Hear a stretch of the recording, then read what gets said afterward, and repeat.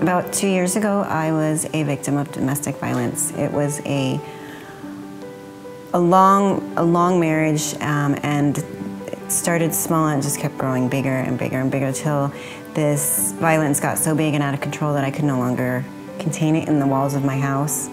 Police were called, and a victim's advocate came out to my house and sat down with me um, after an arrest was made and started explaining to me, okay, this is what's going on. The Victim Assistance Program is a place where victims can be heard, valued, and supported throughout the criminal justice process. My job is to be there on the worst day of someone's life, to know that they're not alone, to know that they can get through it, that they're going to recover, and uh, to let them know that there are resources available to help them to do that. Sitting down with that victim advocate that night um, really opened my eyes to the reality this actually could be domestic violence. When an incident occurs or a critical event occurs, the police officers will call dispatch to have victim assistance respond. Anything from uh, house fire to uh, domestic abuse, um, any type of, of, injury or accident where there's a victim involved, um, I could be called to any of those.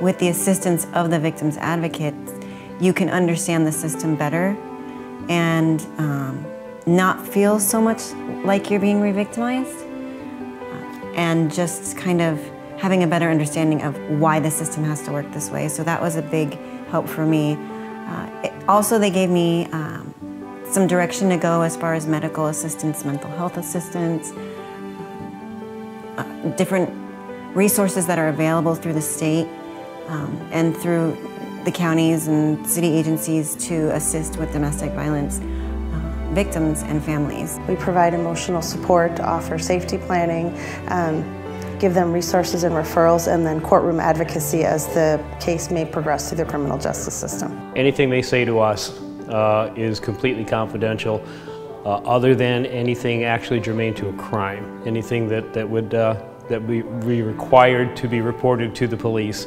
would be uh, information germane to a crime being committed. Other than that, everything they say to us is completely confidential.